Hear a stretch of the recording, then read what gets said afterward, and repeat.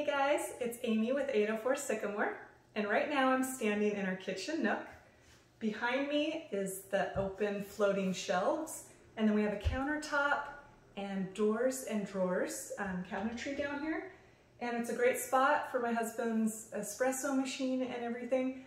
But the clearance of these shelves is quite tall. So we have 18 inches and then 21 and a half. So I've basically only been able to use these shelves for decorative purposes and, um, and like large pieces of decor. So I kind of wanted to add some function and give us a spot to put more dishes um, and things like that. So I'm gonna build a built-in and I'm really excited because I'm still going to have some decorative shelving right in the center. So I'm not gonna totally lose that, but we're gonna make it more manageable and um, reasonable.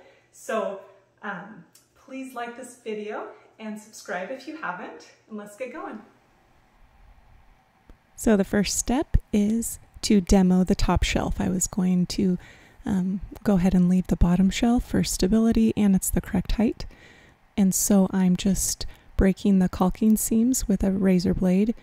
Um, and then there, the, the front face board here is glued on really well and it's solid wood. And so I'm just taking a, a spackle knife and hammer trying to hammer it in there, trying to break it free. Um, I don't want to damage any of my sheetrock, so I'm being really careful. So um, there was a lot of that going on. Once I made a little bit of progress, then I'm using a crowbar to really try to um, get in there, break that glue, seal, and pull it away. Once I can get the front face off, it will be so much easier to get the top and bottom shelves off. And then the side um, braces were a cinch. So I just kept working at it. It's better to take your time and do a good job so you don't damage anything else. So um, go ahead and demo your space carefully and make sure that you are using eye protection, uh, maybe gloves, anything to keep you safe. It was very satisfying to finally get this top shelf. Um, I had to really hammer it up. It's it's pretty stuck in there, um, but once I got it to give, it did um, scrape our walls a little bit, but I knew the new cabinetry would be covering it, so wasn't too worried about that. And here's my shelf help um, cabinets. You can see the the three uh, columns, and what I'm what I like to do is I like to set it up exactly how the diagram shows. We're looking at the bottom of the shelf. Um, the top board goes all the way across, and that is just for maximum stability. It's just um, really physics, the way things um, are more the most stable. And then I'm going around and I'm marking where all of my pocket holes are going to go. It just makes it so much easier so I can just do them all in a row and I know that these will be on the outside so I won't have to plug them but the inside boards I will have to do some covering so the shelf help now wood it already comes pre-sanded um, so what I did is I added a preconditioner because all the shelving in this cabinet is going to be a beautiful farmhouse stain by Rove Dwell um, the farmhouse color so I like to just run um, a light sanding with the grain and just after conditioning. And then I wipe them perfectly clean. You don't want any dust or debris. And then I like to use a staining sponge to wipe a nice even layer across all the shelves, um, the front little strip, even though on two of them they will be covered with a front face board. Um, just make sure all your edges are done. And once I have an even coat, then I like to take a more dry piece of the staining sponge and kind of soak it up and really get an even layer over the entire thing. You can also see where maybe it's missing a little bit and so I can press harder and get some more stain in those spots.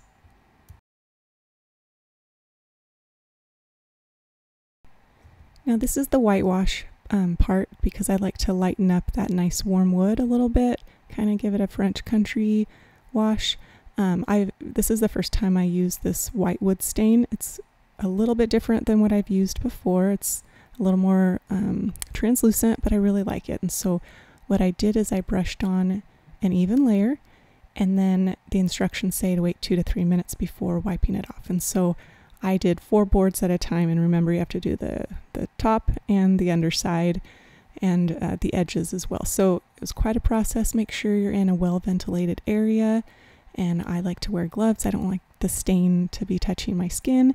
Um, I didn't feel like I needed a mask because it's pretty low um, fumes. But once you have an even layer, take care of all your drips.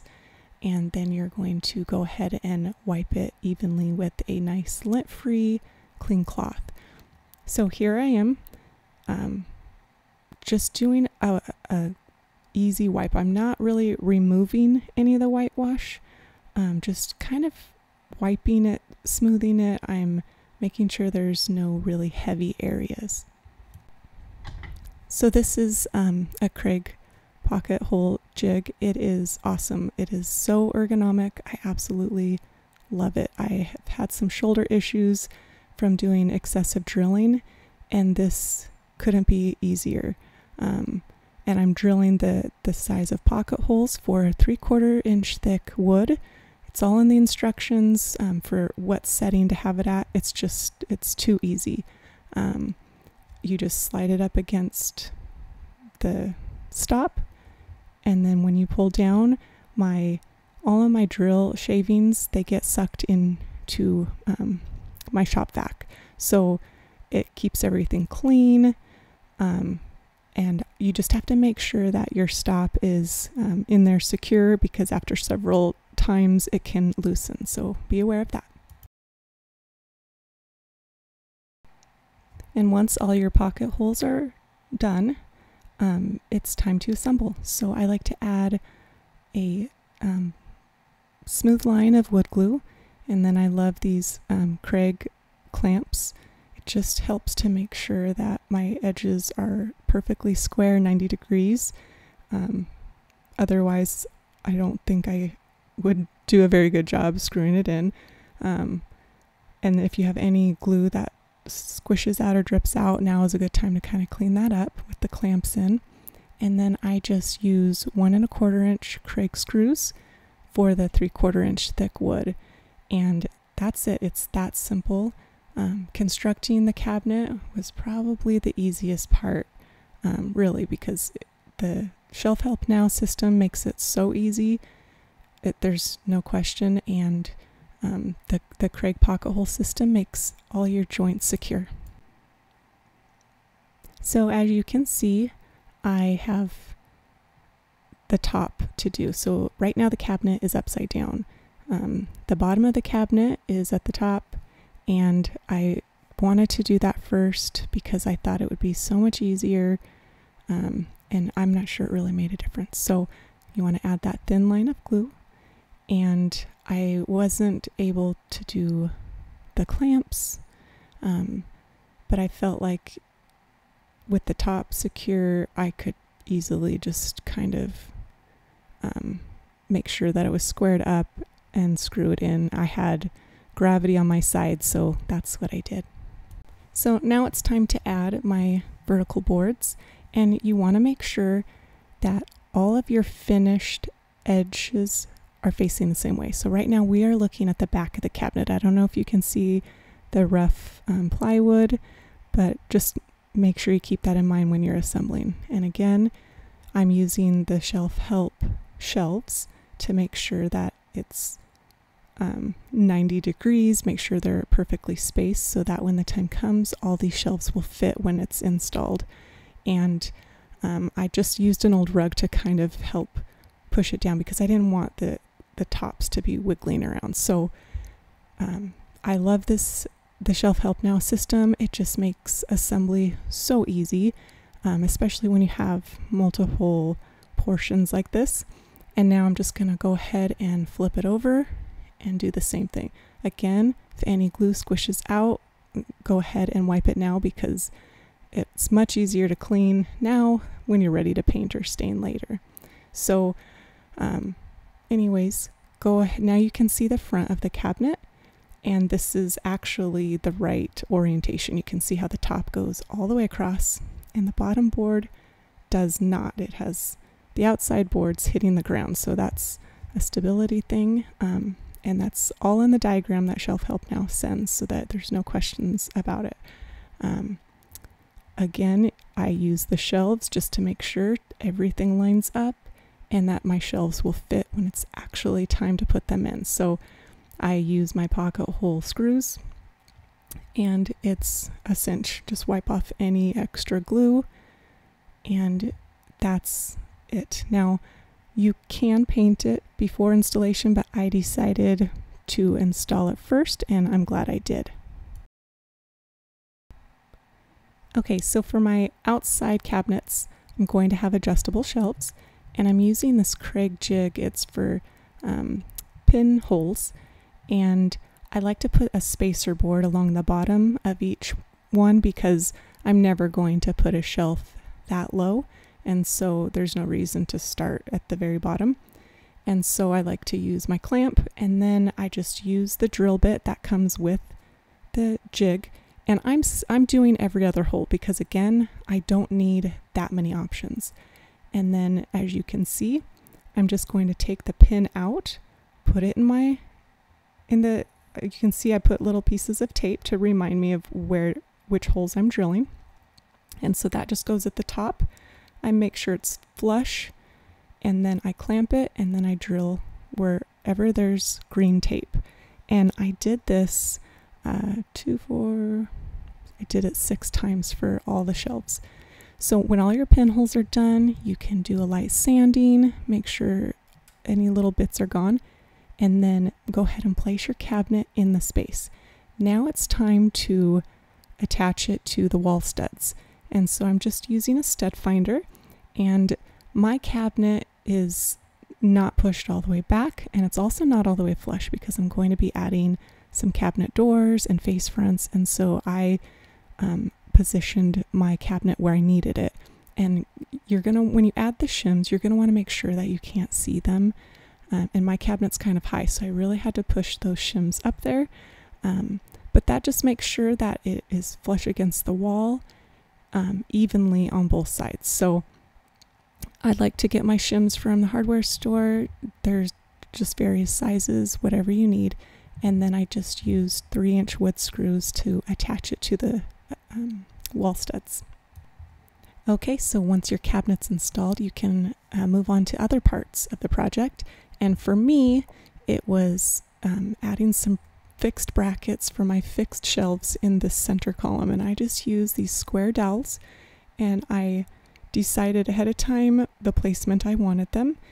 So measure, mark, measure twice, mark, uh, use a level, and then I just use my brad nail gun um, to um, nail my wood into wood. And I didn't use glue. Um, that's an option. You can use some wood glue if you want.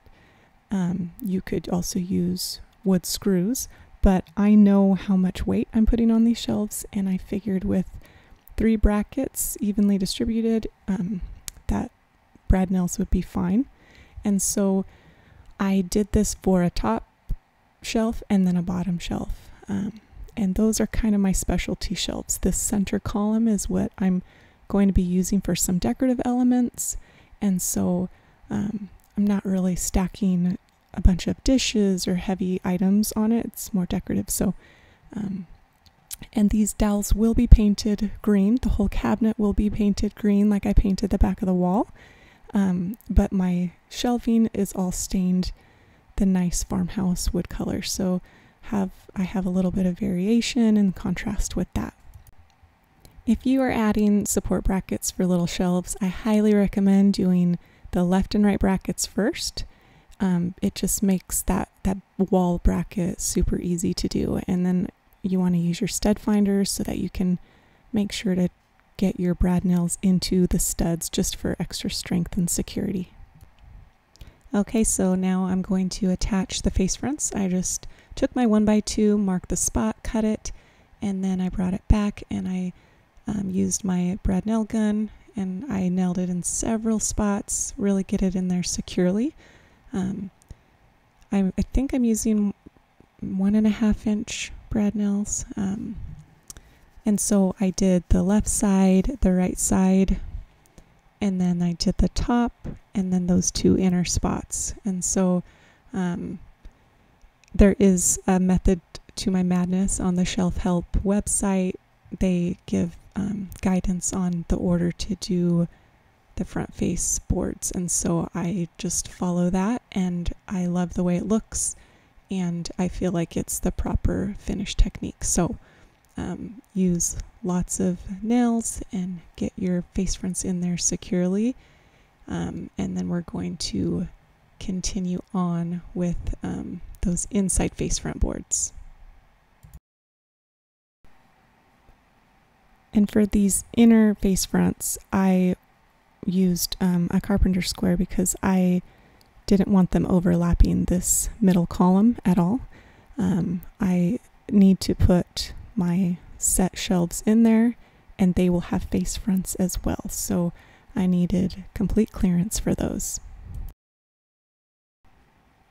And after you're done with all your brad nailing and, and screwing and seams, um, I like to take some wood filler. I like using the, the pink stuff that turns brown when it's dry. That way there's no question about when it's time for me to sand and I don't have to worry about it. I just look at the color.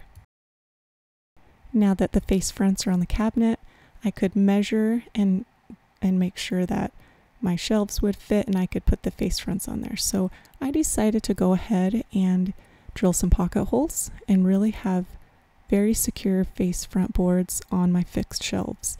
Now what this also meant is that those pocket holes could be seen from the underside and so what I did is I just used the Kreg plugs and I um, wood glued them in, shaved them off with a multi-tool, and then added some stain, and they blend in quite well. So, um, again, I didn't use glue. I just went ahead and screwed them directly in. But this face front board, it really adds a beautiful, nice finish to the entire cabinetry. Um, I could have left them off, but then I feel like the fixed shelves would have blended in with the adjustable shelves. Um, and I really wanted these fixed cabinets to be a little more special. I wanted them to have that decorative element. And so um, you'll see what else I added to add um, an extra detail, just some beauty to it. Now that I have my fixed shelves assembled and ready to go, um, I decided to go ahead and cut my um, brass railing. And I'm really excited about this. This was something new for me.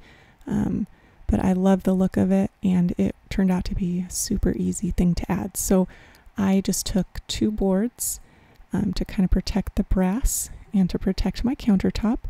And then I used all my clamps to hold it in place. I really didn't know how difficult it would be to saw this brass. It's solid brass, but brass is a relatively um, softer metal.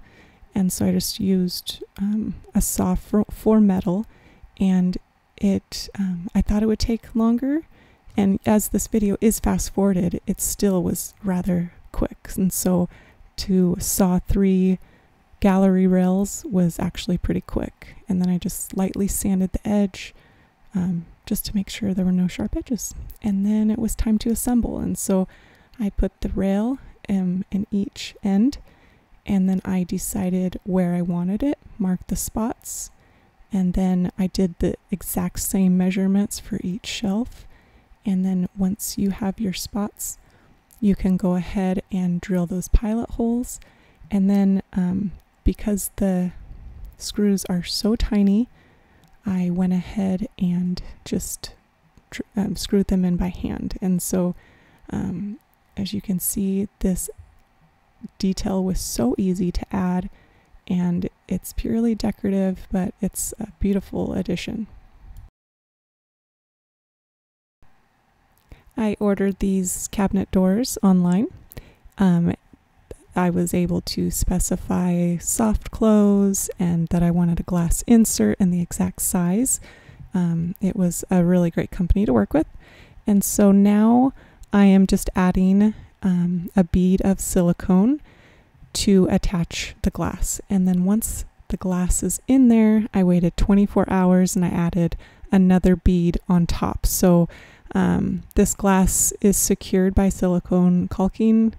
Um, it's the adhesive. It's very common to do this, but there are other methods also. You can use plastic or wood um, inserts in the groove as another way to secure your glass. So um, I ordered the glass actually through Amazon, and the link is not available right now, but um, I would use them again if, if the link became available. After waiting an additional 24 hours for the silicone to cure, it was time to install these. So go ahead and recruit a helping hand. The doors are quite heavy with the glass, and I did not mark my hinge holes ahead of time. So my lovely daughter is holding the weight of the door. I'm measuring, I'm um, marking. It's also kind of difficult to see the, the dark green paint. Um, it's dark in the cabinet, but mark your holes, and then this is where you're going to drill pilot holes. And then the door comes with the screws that work with the hinges. So um, it's just a perfect fit once you get the, spots marked. When you're drilling your pilot holes, make sure that you are using a bit that is smaller than the screws. You definitely don't want these screws pulling out. Um, and so be conservative with the size and you don't have to go too deep. You're just really getting a start so that there's no cracking and splitting in the wood.